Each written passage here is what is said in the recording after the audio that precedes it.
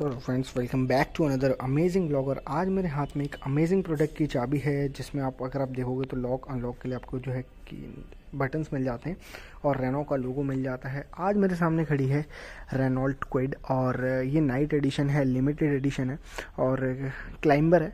ए में मिल जाता है, क्या कुछ चीज़ें इसके अंदर मिल जाती हैं, क्या कुछ फीचर्स मिल जाते हैं, उन्हीं सब चीज़ों के बारे में बात करते हैं। तो स्टार्ट करते हैं फुल एक रिव्यू को। जानते हैं प्रोडक्ट के बारे में कि ये प्रोडक्ट ऑफ़र क्या क्या कर देता है आपको। आप देखोगे तो सामने की साइड आपको कुछ इस तरीके के डी का सेटअप मिल जाएगा। इसी के अंदर इंडिकेटर्स मिल जाते हैं। नीचे आपको देखोगे तो हेलोजन बेस्ड लाइटें मिल जाती है हाई और लो बीम के लिए। बाकी अगर आप देखोगे तो ये पोर्शन काफ़ी सही लग रहा है देखने में। और सामने के साइड आपको जो है बड़ा सा रेनो का लोगो मिल जाता है, कुछ क्रोम का एलिमेंट आपको मिल जाएगा। नीचे की साइड देखते हैं तो यहाँ सिल्वर गार्निश मिल जाती है, ग्रे गार्निश मिल जाएगी नीचे की साइड और सिंगल वाइपर मिल जाता है, यहाँ वॉशर मिल जाएगा ओ मिल जाते हैं, साइड में इंडिकेटर्स, इलेक्ट्रॉनिक तरीके से एडजस्ट वगैरह आप कर सकते हैं, आगे दो डिस्क मिल जाएँगे और स्टाइलिश व्हील कैप मिल जाते हैं और सेक्शन इसके अंदर जो आपको मिलेगा around one sixty five seventy R fourteen inches का सेक्शन मिल जाता है, जो कि काफ़ी कमाल का है। क्लाइडिंग का रेशियो भी काफ़ी अच्छा खासा इसके अंदर दिया हुआ है। इंडिकेटर्स यहाँ के बजाय वहाँ दिया हुआ है, जो कि काफ़ी काफ़ी अच्छा खासा जो है एक फीचर मिल जाता है। ऊपर रूफ रेल्स मिल जाता है। हालाँकि ये फंक्शनल नहीं है बट एक डिज़ाइन एलिमेंट मिल जाता है। एंटीना आपको मिल जाएगा और पूरी ही जो गाड़ी है ब्लैक डाउट आपको मिलती है। नाइट एडिशन है तो ब्लैक डाउट तो ज़रूर मिलेगी ही मिलेगी। और पीछे की साइड देखोगे तो एक सिल्वर एलिमेंट मिल जाता है। रेनॉल्ट का बैज क्विड का बैज पीछे रेनॉल्ट के बैज के साथ अंदर ही एक कैमरा भी इनबिल्ड किया हुआ है। यहाँ से की के थ्रू आप जो है, इसके बूट को आप ओपन कर सकते हैं और कुछ सेंसर्स मिल जाते हैं। High mount stop lamp, wiper, defogger SH नहीं है इसके अंदर। और यहाँ से आप जो है फ्यूल अप करवा सकते हैं। और अगर आप देखोगे तो ड्राइवर साइड आपको यहाँ एक की के लिए मिल जाता है ताकि आप डोर को अनलॉक और लॉक कर सकें। वैसे तो इसके अंदर आपको सेंट्रल लॉकिंग मिल जाती है ऐसा कोई भी प्रॉब्लम नहीं होती है। तो ये सारी चीज़ें हैं। अब एक बार इसके डायमेंशंस की बात कर लेते हैं। तो जो डायमेंशंस ये आपको ऑफ़र करेगी अराउंड 3731 mm की इसके अंदर लेंथ मिल जाती है। वहीं अगर आप इसकी वृत्त की बात करते हैं अराउंड 1579 mm की इसके अंदर वृत्त मिल जाती है। वहीं अगर आप इसकी हाइट की बात करते हैं तो 1490 mm की इसके अंदर जो है हाइट मिल जाती है। तो ये कुछ डायमेंशंस हैं गाड़ी के। अब एक बार चलते हैं इंटीरियर में। इंटीरियर में क्या कुछ प्रोवाइड ये करती है? तो की मेरे पास यहीं रखी हुई है और डोर ओपन इसका मैं कर लेता हूँ। डोर ओपन करते ही एक चीज़ मैंने नोटिस की इसकी, यहाँ के साइड जो है क्विड का एक बैज बना हुआ आता है और काफ़ी सही लगता है। नीचे ही कोई भी आफ्टर मार्केट नहीं है, ये कंपनी के थ्रू ही आता है, जो कि एक काफ़ी अच्छा खासा जो है पूरा एक एम्बियंस क्रिएट कर देता है। स्कफ प्लेट भी मिल जाती है एलईडी लाइट्स इसमें भी जो है ग्लो करती है। और डोर पैनल की बात कर लेते हैं तो डोर पैनल काफ़ी शानदार है, पूरा ही ब्लैक डाउट मिल जाता है। वाइट स्ट्रिप मिल जाती है लॉक अनलॉक का आपको यहाँ सेटअप मिल जाता है। क्रोम डोर ओपनर मिल जाता है, कुछ पॉकेट्स का सेटअप डॉक्यूमेंट होल्डर और बॉटल होल्डर के लिए आपको सेटअप मिल जाता है। फैब्रिक सीटें मिल जाएगी, जिसके अंदर आपको क्लाइंबर का कुछ डिज़ाइन एलिमेंट इसके अंदर मिल जाता है, जो कि काफ़ी कमाल का लगता है देखने में। और अब चलते हैं इंटीरियर में। सो जी इंटीरियर में आ चुका हूँ। क्या कुछ चीज़ें इसके अंदर मिल जाती है? फ़र्स्ट ऑफ़ ऑल अगर आप देखोगे तो पूरा ही स्टेयरिंग आपको मिल जाता है। लेदराइट रैप्ट नहीं मिलेगा। रेनो का लोगो मिल जाता है, यहाँ आपको कुछ कंट्रोल्स मिल जाते हैं म्यूज़िक सिस्टम से रिलेटेड कंट्रोल और यहाँ भी अगर आप देखोगे तो कुछ कंट्रोल्स आपको एमआईडी से रिलेटेड मिल जाते हैं। डेट सेट कोई भी क्रूज कंट्रोल सच नहीं मिलेगा। यहाँ से आप पावर विंडोज़ वगैरह आप जो है, यहाँ से आप पावर विंडोज़ आप कंट्रोल कर सकते हैं और लॉक अनलॉक कर सकते हैं आप अपनी गाड़ी को। और यहाँ से जो है O R V M adjust वगैरह आप कर सकते हो अपने अकॉर्डिंग फोल्ड वगैरह भी आप इसको अपने अकॉर्डिंग कर सकते हो। तो ये काफ़ी सही चीज़ है। बाकी अगर आप देखोगे तो यहाँ आपको जो है एसी वेंट्स का सेटअप मिल जाता है। यहाँ आपको वाइपर्स के कंट्रोल मिल जाते हैं, यहाँ आपको लाइट्स के कंट्रोल मिल जाते हैं और स्टेयरिंग एडजस्टमेंट की बात करते हैं तो स्टेयरिंग एडजस्ट नहीं होता है, कोई भी एडजस्टमेंट इसके अंदर नहीं दिया गया है। यहाँ अगर आप देखोगे तो यहाँ आपको बारह वर्ड का सॉकेट मिल जाएगा यू और ऑक्स मिल जाता है, कुछ स्पेस यहाँ दो कप होल्डर्स मिल जाते हैं। एएमटी है तो एएमटी के अंदर आपको जो है कुछ इस तरीके का नॉब मिल जाता है, जैसे कि आपको एक इलेक्ट्रिक गाड़ी की ज़रूर फील देगा।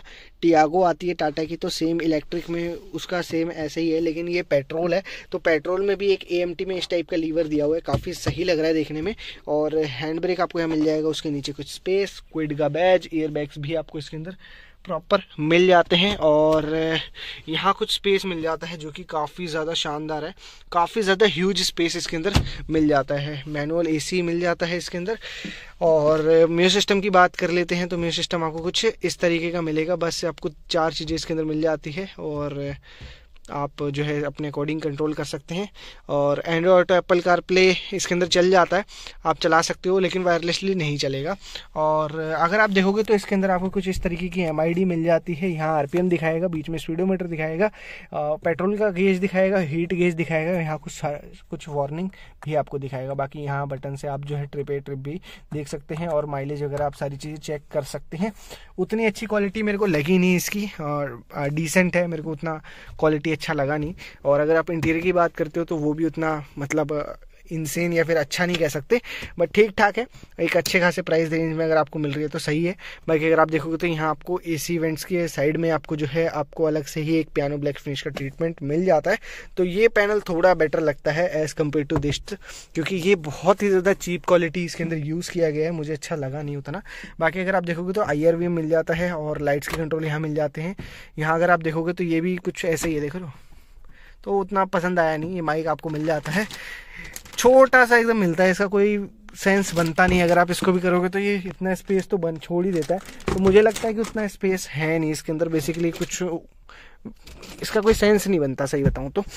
मुझे ऐसा लग रहा है। बाकी अगर आप देखोगे तो फ्लैट आपको ये पूरा ही एरिया मिल जाता है। सीट्स नो डाउट अच्छी है। मुझे पर्सनली सही लगी सीट्स लेकिन अगर आपकी हाइट या फिर आपकी वृथ ज़्यादा है तो ये आपको सीट थोड़ी सी अनकंफर्टेबल लगेगी।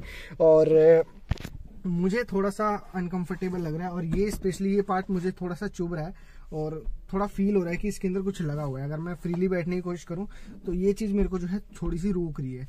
तो थोड़ा सा यहाँ स्पेस में आपको कॉम्प्रोमाइज़ करना पड़ेगा। और अगर आप इसके कंपैरिजन में देखते हो तो मुझे लगता है कि ऑल्टो ज़्यादा बेटर है इससे। ऑल्टो केटन अगर आप देखते हो तो ऑल्टो केटन में थोड़ा स्पेस ज़्यादा मिलता है और थोड़ी सी ज़्यादा वैल्यू वो आपको प्रोवाइड करेगी।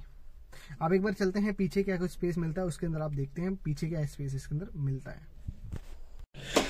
पीछे की बात कर लेते हैं तो पीछे के साइड आपको जो है ब्लैक डोर आपको मिल जाता है पावर विंडो से कंट्रोल डोर ओपनर मिल जाता है लॉक अनलॉक आप यहाँ से कर सकते हैं, इसका प्लेट इसके अंदर मिल जाएगी और पीछे एडजस्टेबल हेडरेस्ट नहीं मिलते हैं, ना ही सिक्सटी फोर्टी कुछ नहीं मिलेगा पीछे आपको।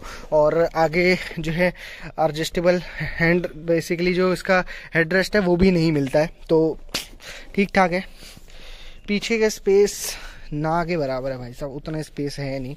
अगर आप देखोगे तो थाई सपोर्ट भी अच्छा नहीं है, और अगर आप नी रूम लेग रूम की बात करते हो तो उतना वो सही नहीं अगर मैं डोर भी बंद कर देता हूँ तो डोर बंद करने के बाद तो मुझे ऐसा लगता है कि मैं भेजा भेजा सा बैठा हूँ, बिल्कुल दबा दबा सा।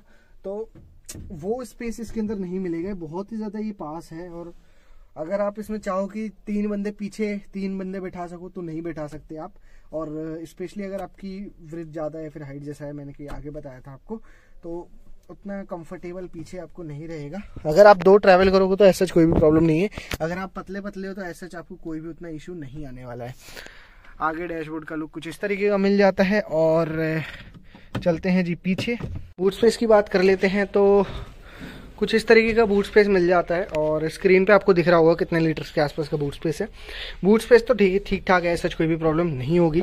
वहीं अगर आप इसके नीचे देखोगे तो स्पेयर व्हील आपको कुछ रेड कलर का मिलता है मैरूम कलर का one sixty five seventy R fourteen inches का सेक्शन आपको उसके अंदर मिल जाएगा। तो ठीक है, ऐसा कोई भी प्रॉब्लम नहीं है। बाकी बूट आपको जो है, चाबी से ही लॉक अनलॉक करना पड़ेगा इसका। इंजन स्पेसिफिकेशंस की बात कर लेते हैं तो एक वन लीटर का नेचुरली एस्पिरेटेड पेट्रोल इंजन मिल जाता है और थ्री सिलेंडर इंजन है पावर निकाल के देता है अराउंड 67.06 पी निकाल के देगा टॉर्क 91 एनएम का निकाल के देगा। करंट जो वेरिएंट है ऑटोमेटिक है। फ्यूल टैंक की बात करते हैं अराउंड 28 लीटर के आसपास का फ्यूल टैंक इसके अंदर मिल जाता है और वहीं अगर आप बात करते हो इसके माइलेज की तो 22.3 के आपको जो है हाईवेज पे निकाल के देगा और सिटी में अराउंड 16 के की माइलेज आपको ये निकाल के देगा। तो ठीक ठाक इंजन है ऐसा कोई भी प्रॉब्लम नहीं होगी और आपको जो है इंसुलेशन पैड भी इसके अंदर मिल जाता है। तो जी, गाड़ी कैसी लगी मेरे को कमेंट करके ज़रूर बताना और फीचर्स कैसे लगे और ये जो लिमिटेड एडिशन है, ये कैसा लगा? आपको वैल्यू फॉर मनी लगा, नहीं लगा, मेरे को कमेंट करके ज़रूर बताना। बाकी मिलते हैं एक नई अमेजिंग वीडियो के साथ। Thank for watching this video